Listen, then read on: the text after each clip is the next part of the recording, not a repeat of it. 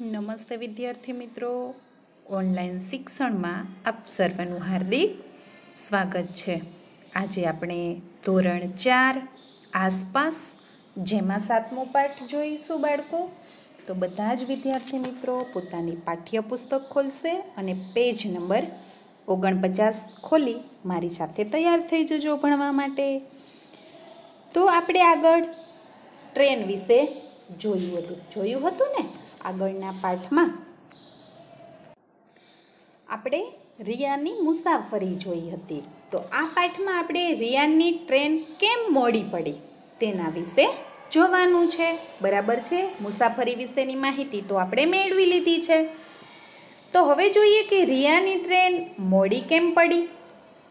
તો હવે આપણે જોઈશું રિયામાં ચિત્રમાં. જુઓ, તમે ટ્રેનનું સરસ મજાનું ચિત્ર જુઓ છો ને? બારીનું, જુઓ. દેખાય છે? તો હવે આગળ જોઈએ બાળકો. હું જાગી ગઈ. જો, રિયા એકદમ ટ્રેન મોડી પહોંચી એટલે ટ્રેનમાં સૂઈ ગઈ હતી ને, છેલ્લે આપણે એવું બધું જોયું હતું. તો રિયા સૂઈ ગઈ હતી તો એકદમ ઝપકીને જાગી ગઈ. અમારી ટ્રેન કોઈ પ્લેટફોર્મ પર ઊભી હતી. મેં બેઠા થઈ બારીમાંથી જોયું તો સામેની દિવાલ પરની ઘડિયાળમાં સવારના પાંચ વાગ્યાનો સમય દેખાતો હતો. જો તમે ચિત્રમાં જોઈ શકો છો ને આ ઘડિયાળ, જુઓ. છે ને? પાંચ વાગ્યા છે ને? હા, તો કે પાંચ વાગ્યાનો સમય થયો હતો. તે મને ઘડિયાળમાં દેખાયું. તેની બાજુમાં એક થાંભલા પર ગોળ પાટિયામાં વડોદરા જંકશન લખેલું હતું. ભાઈ, હજુ સૂતો હતો? જો, તો એને જોયું તો શું લખેલું હતું? વડોદરાનું જંકશન, બરાબર? તો કે એવું લખેલું હતું. એટલે કેટલા વાગે વડોદરા પહોંચ્યા? તો કે પાંચ વાગે. બરાબર? હું કોણ? રિયા જાગી ગઈ હતી, પણ તેનો ભાઈ હજુ સૂતો હતો. માઇકમાં સૂચના આપવામાં આવી રહી હતી કે વડોદરાથી સુરત, વલસાડ, વાપી, મુંબઈ તરફ જવાવાળી અને આવવાવાળી તમામ ટ્રેનો બે કલાક મોડી ચાલશે. જુઓ, એવી માયકમાં સૂચના આપવામાં આવી જંકશનમાં. તો પપ્પાએ કહ્યું કે તમે બ્રશ કરી લો, ત્યાં સુધીમાં હું ચા લઈને આવું છું. એમે, અમે સવારની પ્રાતઃ ક્રિયાઓ પતાવી. પ્રાતઃ ક્રિયા એટલે કે દરરોજની ક્રિયા છે, એ અમે બધાએ પતાવી. એટલામાં પપ્પા ચા લઈ અને આવી ગયા. અને મમ્મીએ થેપલા, ખાખરા, બિસ્કિટ, નાસ્તા નાસ્તા માટે કાઢ્યા. જુઓ, તેમને સાથે નાસ્તો લઈ ગયા હતા ને, તે તેમને કાઢ્યો. અમે ચા નાસ્તો પતાવ્યો ત્યાં સુધીમાં અજવાળું થઈ ગયું હતું. જો એમને ચા ને એવું પીધું, નાસ્તો સવારનો કર્યો, ત્યાં શું થઈ ગયું હતું? સવાર પડી ગઈ એટલે કે થોડુંક અજવાળું થઈ ગયું. હવે આગળ કે હજુ ટ્રેનને ઉપડવાની ઘણી વાર હતી. પપ્પાએ કહ્યું કે ચાલો, તમને રેલવે સ્ટેશનની સુવિધાઓ બતાવું. હું અને મારો ભાઈ પપ્પા સાથે ટ્રેનમાં નીચે ઉતર્યા. જો, એના પપ્પાએ શું કહ્યું? કે ચલો, હજુ ટ્રેન ઉપરવાની ઘણી બધી વાર છે. તો કે ચલો, હું તમને બે ભાઈ બહેનને રેલવે સ્ટેશનમાં કઈ કઈ સુવિધાઓ હોય તે બતાવું. એટલે રિયા અને એનો ભાઈ બંને પપ્પાની સાથે નીચે ટ્રેનમાંથી ઉતર્યા. પેજ નંબર પચાસ પર. હવે પેજ નંબર પચાસ ઉપર આપણને આપેલું છે કે પપ્પાએ અમને ટિકિટ બારી. ટિકિટ ચેકરની રૂમ, પ્રતિક, પ્રતિજ્ઞા ખંડ પાર્સલ રૂમ, હે, ટોયલેટ, બાથરૂમ, પીવાના પાણીની સુવિધા, ચા નાસ્તાના કેન્ટીન જેવી સુવિધાઓ સ્થળો બતાવ્યા. જો, તેના પપ્પાએ તેને શું શું બતાવ્યું? તો કે પાર્સલ રૂમ બતાવ્યો, ટોયલેટ, બાથરૂમ, પીવાના પાણીની સુવિધા, ચા નાસ્તાના કેન્ટીન, હે, ટિકિટ ચેકર, ટિકિટ બારી બતાવી, પ્રતિજ્ઞા ખંડ બતાવ્યો, પ્રતીક્ષા ખંડ બતાવ્યો, બરાબર? આ બધું એના પપ્પાએ તેને બધી સુવિધાઓ તે સ્થળ પર બતાવી. એક પ્લેટફોર્મ પરથી બીજા પ્લેટફોર્મ પર જવા માટેની સીડીવાળી પુલ ઉપરથી અમે જોયું તો ટ્રેન ઉપર ઘણી બધી ટ્રેન ઊભેલી જોવા મળી. રેલવેના કર્મચારીઓ પાઇપ વડે ટ્રેનના ડબ્બાઓમાં પાણી ભરતા અને ટ્રેનની સફાઈ કરવા જોવા મળ્યા. જો ઘણા કર્મચારીઓ છે જે ટ્રેનમાં પાઇપ વડે, હે? પાઇપ વડે ટ્રેનમાં પાણી ભરતા ડબ્બામાં અને સફાઈ કામ કરતા અમે જોયા. હવે કેટલાક સફાઈ કામદારો પાટાની આસપાસ સફાઈ કરતા જોવા મળ્યા. સ્ટેશન પર ફરવામાં સમય ક્યાં પસાર થઈ ગયો તેની ખબર જ પડી નહીં. મને રેલવેની સુવિધા વિશે ખૂબ જ જાણકાર જાણવા મળ્યું. ખરેખર બહુ જ મજા આવી. મેં કેટલીક સુવિધાઓના ફોટા અને વીડિયો પપ્પાના મોબાઈલમાં લીધા છે. જો જેથી યાદ રહે રે ને? તો આપણને જો સરસ મજાના નીચે પ્રશ્ન પૂછેલા છે બાળકો. તો પહેલો જ પ્રશ્ન આપણને બાળકો પૂછેલો છે કે તમે વિચારો કે રિયાની ટ્રેન વડોદરા સ્ટેશનેથી બે કલાક મોડી કેમ ઉપડી હશે? તો તેનો જવાબ છે કે રિયાની ટ્રેન વડોદરા સ્ટેશનથી બે કલાક મોડી ઉપડી હતી. બરાબર? એના કારણો કયા હતા? તો પહેલું કારણ છે કે વડોદરાથી મુંબઈ વચ્ચે રેલવેના પાટાનું સમારકામ ચાલતું હોય. અથવા તો વડોદરા અને મુંબઈ વચ્ચે કોઈ ટ્રેન ગડબડ કે અકસ્માત થયો હોય અને પાટા ઉપર ઊભી હોય અથવા તો વહેલી સવારથી જ રાબેતા મુજબની ટ્રેનો બે કલાક મોડી ચાલતી હોય અથવા તો ત્રીજું કારણ, ચોથું કારણ એ પણ બની શકે કે ટ્રેનને આગળ વધવા સિગ્નલ મળ્યું ન હોય. આવા બધા ઘણા બધા કારણો હોઈ શકે છે. ત્યાર પછી બીજું જોઈએ. કે રિયાએ સ્ટેશન પર કયા કયા સ્થળોની મુલાકાત લીધી? તો તેનો જવાબ છે કે રિયાએ વડોદરા સ્ટેશન પર ટિકિટ બારી, ટિકિટ ચેકર રૂમ, પ્રતીક્ષા ખંડ, પાર્સલ રૂમ, લોકર, લોકરની સુવિધા, ટોયલેટ બાથરૂમ, બરાબર? પીવાના પાણીની સુવિધા, ચા નાસ્તાના કેન્ટીન, પછી એક પ્લેટફોર્મ પરથી બીજા પ્લેટફોર્મ પર જવાની સીડીવાળો પુલ વગેરે સ્થળોની તેણે મુલાકાત લીધી છે. ત્યાર પછી આગળ જોઈએ બાળકો. જોવો, ઘડિયાળ આપી છે. હવે માઇકમાં સૂચના અપાઈ. કઈ સૂચના અપાઈ? ચલો જોઈએ તો કે અમારી ટ્રેન બે મિનિટમાં વડોદરા સ્ટેશનેથી ચાલશે. અમે પાછા આરામ પાછા અમારા ડબ્બામાં આવીને બેઠા અને ટ્રેન ચાલી. સવાર થઈ ગઈ હતી. બહારનું વાતાવરણ ખૂબ જ સુંદર લાગતું હતું. જુઓ બરાબર? સાત વાગે ટ્રેન ઉપડી. હવે જોઈએ પેજ નંબર એકાવન પર. તો અમારી ટ્રેન સડક માર્ગના બંધ ફાટક પાસેથી પસાર થઈ રહી હતી. ત્યાં લોકો ફાટકની બંને બાજુ ટ્રેન પસાર થવાની રાહ જોઈને ઊભા હતા. ત્યાં બસ, કાર, રિક્ષા, સાયકલ, સ્કૂટર તેમજ માલ સામાન ભરેલી ટ્રકો જોવા જેવા વાહનો પણ ઊભા હતા. જુઓ તમે ચિત્રમાં જોઈ શકો છો. જોઈ શકો છો ને? જો અહીં બતાવ્યા છે ને? છે? આ બધી સગવડો છે, અહીંથી ટ્રેન જો પસાર થાય છે, અહીંથી. આ બાજુ જો, છે ને બધા? બંને- બાજુ વાહનો પડ્યા છે, જો આ બાજુ પણ. છે? હં.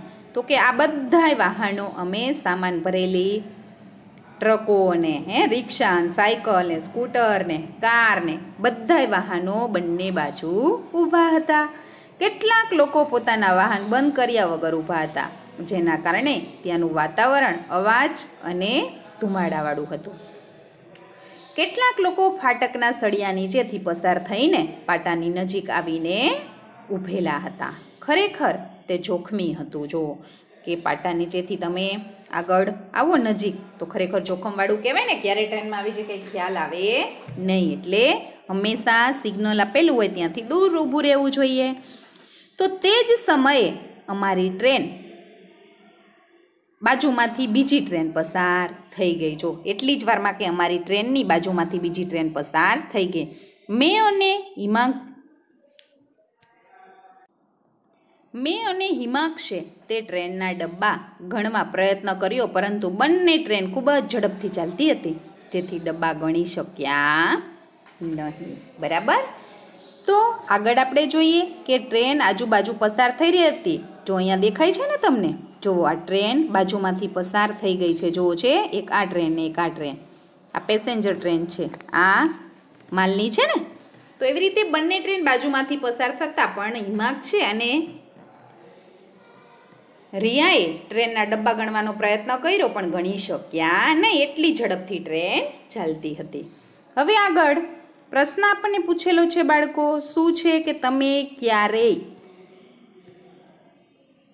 રેલવે ફાટક પાસેથી પસાર થયા છો? જો હા, તો ફાટક બંધ હતું ત્યારે અથવા તો ફાટક ખુલ્લું હતું? ત્યારે ત્યાંથી હલચલ કેવી રીતે કરી હતી તે વિચારો લખો. ચલો જોઈએ. તમે ફાટકની આજુબાજુ ક્યારેક નીકળ્યા હશો ને કે નથી નીકળ્યા બાળકો? તો કેવી રીતે ઊભા હતા? શું કામ ઊભા હતા? તેનું કારણ આપણે અહીંયા લખવાનું છે અને વિચારવાનું છે. ચલો જોઈએ. તો આપણે એ પ્રશ્નનો જવાબ આપીએ.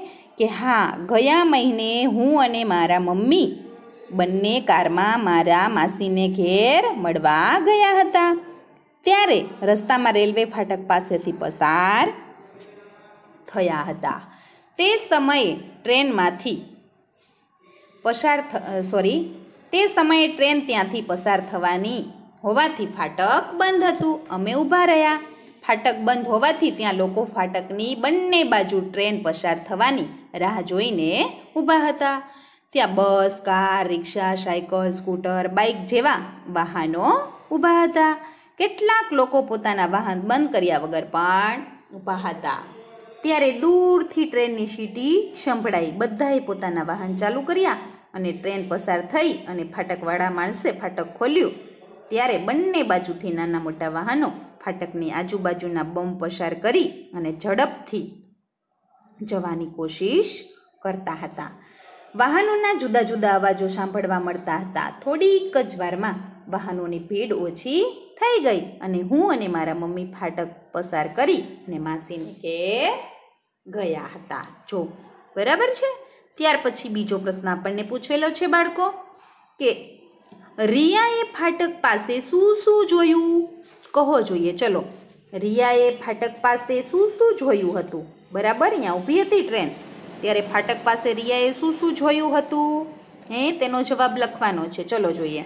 તો તેનો જવાબ શું આવશે બાળકો? કે જ્યારે રિયા ટ્રેન સડક માર્ગમાં, સડક માર્ગના બંધ ફાટક પાસેથી પસાર થઈ રહી હતી, ત્યારે રિયાએ જોયું કે ત્યાં લોકો ફાટકની બંને બાજુ ટ્રેન પસાર થવાની રાહ જોઈને ઊભા હતા. ત્યાં બસ, કાર, રિક્ષા, સાયકલ, સ્કૂટર તેમજ માલ સામાન ભરેલી ટ્રકો જોવા વાહનો, સોરી, ટ્રકો જેવા વાહનો પણ ત્યાં ઊભા હતા. કેટલાક લોકો પોતાના વાહન બંધ કર્યા વગર પણ ઊભા હતા અને એને કારણે ત્યાંનું વાતાવરણ અવાજ અને ધુમાડાવાળું હતું. કેટલાક લોકો જોખમ ખેડી અને ફાટકના સળિયા નીચેથી પસાર થઈ અને પાટાની નજીક આવીને પણ કેટલાક લોકો ઉભેલા હતા. બરાબર? આ બધું કોને જોયું? રિયાએ ફાટક પાસે જોયું હતું. તો અહીંયા પેજ નંબર બાવન પર આપણે જોઈએ. હવે પેજ નંબર બાવન ઉપર આપણને આપેલું છે હવે પેજ નંબર બાવન ઉપર આપણને આપેલું છે, જુઓ, કે હું આંખો બંધ કરીને બારી પાસે બેઠી હતી. અચાનક ટ્રેન ચાલવાનો અવાજ બદલાઈ ગયો. એટલે ખડ ખડ ખડ ખડ, મેં મારી આંખો ખોલી. જોવો ખડખડ એવો અવાજ આવવા માંડ્યો, એટલે રિયાએ આંખો ખોલી. અનુમાન કરો કે મેં જોયું હશે. હે? મેં શું જોયું હશે? ચલો, અનુમાન કરો જોઈએ. એને શું જોયું હશે? તો કે મારી ટ્રેન એક મોટી નદી પરનો પુલ પસાર કરી રહી હતી. મમ્મીએ કહ્યું, આ નર્મદા નદી છે. આ નર્મદા નદીનો પુલ છે. આ નદી ગુજરાતની સૌથી મોટી નદી છે. તેનું પાણી નહેર દ્વારા દૂર દૂરના વિસ્તાર સુધી પહોંચવાડવા, પહોંચાડવામાં આવ્યું છે. જો અહીંયા આપણને સરસ મજાનું એવું ચિત્ર પણ આપ્યું છે, આ પુલ, આ નદી છે ને? તમે તમારા પાઠ્યપુસ્તકમાં જોઈ શકો છો બાળકો. ચલો, થોડેક દૂર બીજા બે પુલ પણ દેખાતા હતા. તેના પરથી નાના મોટા વાહનો પસાર થઈ રહ્યા હતા. પપ્પાએ કહ્યું કે જે પહેલો પુલ દેખાય છે તે ગોલ્ડન બ્રિજ કહેવાય છે. બરાબર? મેં ખૂબ જ જૂનો અને મજબૂત પુલ છે. તે ખૂબ જ જૂનો અને મજબૂત પુલ છે. એનાથી આગળ જે પુલ દેખાય છે તે નર્મદા નદી પર નવો બાંધેલો પુલ છે. તે ભારતના સૌથી મોટા કેબલ બ્રિજ તરીકે ઓળખાય છે. ચલો, એના પપ્પાએ એવી એને માહિતી આપી. હવે ઉનાળો હોવા છતાં પણ નદીમાં પાણી ખૂબ જ હતું. કેટલાક માછીમારો નાવડીમાં માછલા પકડવા ઝાડ પાથરીને બેઠેલા જોવા મળ્યા. પુલ લાંબો હોવાથી આ બધું જોવાની ખૂબ જ મજા પડી ગઈ. મજા આવે ને આ બધું જોવાનું? જો સરસ મજાનો પુલ છે, ટ્રેન પસાર થાય છે, જો દેખાય છે ચિત્રમાં? હે, જો આ ટ્રેન પસાર થાય છે, જો નીચે આ પાણી છે, જો ઉડકા છે છે ને? જો તમારા ચિત્રમાં તમે જોઈ શકો છો બાળકો. એટલે પપ્પાએ કહ્યું કે રાત્રે તમે સૂતા હતા ત્યારે આપણી ટ્રેન સાબરમતી, સોરી, સાબરમતી, વાત્રક, મહીસાગર અને વિશ્વામિત્રી જેવા જેવી મોટી નદીના પુલ પરથી પસાર થઈ રહી હતી. હવે આગળ સુરત પાસે તાપી નદીનો પુલ આવશે, તે જોવાનું ચૂકતા નહીં. એમ કહી અને પપ્પાએ બંનેને માહિતી આપી. બરાબર છે? તો અહીંયા આપણે આ વીડિયો પૂરો કરીએ છીએ. આવતા વિડીયોમાં આપણે પેજ નંબર ત્રેપન જોઈશું. બરાબર છે? ચલો, નમસ્તે.